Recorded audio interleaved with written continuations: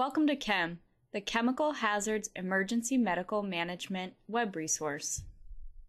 Quick access to reliable information can save lives in chemical emergencies, such as the 1995 sarin gas attack on the Tokyo subway or the release of chlorine from a train accident in South Carolina in 2005.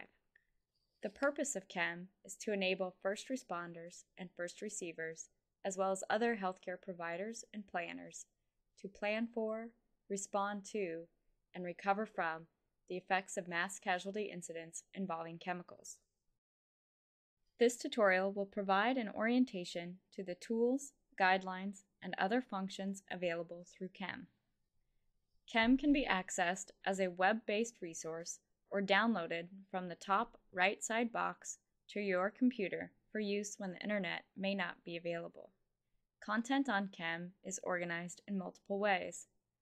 For example, you can select First Responder, Hospital Provider, or Incident Preparedness to find information customized for your needs. You can also find information organized by role under CHEMM for You. The left side menu offers several types of information, and I will highlight some potential uses here. Select Quick Chemical Identification. Here you can use the CHEMM Intelligent Syndromes tool, or CHEMM-IST, to identify the category of chemical or chemical group by the signs or symptoms presented. Or you can use WISER, the Wireless Information System for Emergency Responders, to identify specific chemicals by their properties, transport identifiers, or signs and symptoms of toxicity. Select Acute Patient Care Guidelines to find information organized by pre-hospital and in-hospital management. The list of chemicals you see here is under development. In the pre-hospital management section, select an agent such as chlorine. On this page, you can find chemical agent properties, triage and decontamination procedures, as well as signs, symptoms, and treatments. In the top left menu, you can navigate to additional information that is specific to the hot zone, decontamination zone, or support zone. In the top right drop-down menu, you can switch your role between first responder and hospital provider to customize the information. Return to the home page by selecting CHEMM Home from the top left. Select Types of Emergencies for detailed preparation and response guidelines. The Patient Management section brings together tools and resources needed for patient care in a chemical emergency.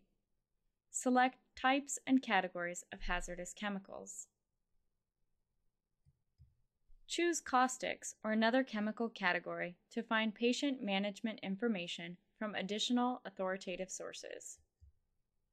Notice that in the navigation boxes on the right, you can link directly to common hazmat chemicals or other resources on the CHEMM website.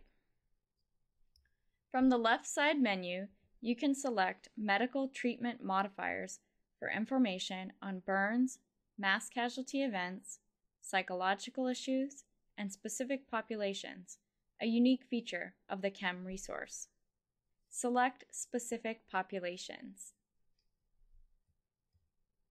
Here you will find medical management considerations for seniors, persons with pre-existing disease or altered metabolism, children, pregnant women, and persons with disability. On the right side of the CHEMM homepage, you will find quick links to some of the tools mentioned earlier, as well as critical phone numbers for emergencies. These are just some of the resources and tools found in CHEMM. You can learn more about CHEMM by clicking on the New Users link on the right.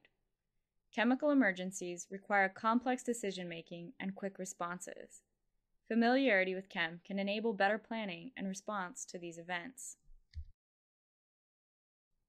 CHEMM was produced by the U.S. Department of Health and Human Services, Office of the Assistant Secretary for Preparedness and Response, in cooperation with the National Library of Medicine and many medical, emergency response, toxicology, and other experts.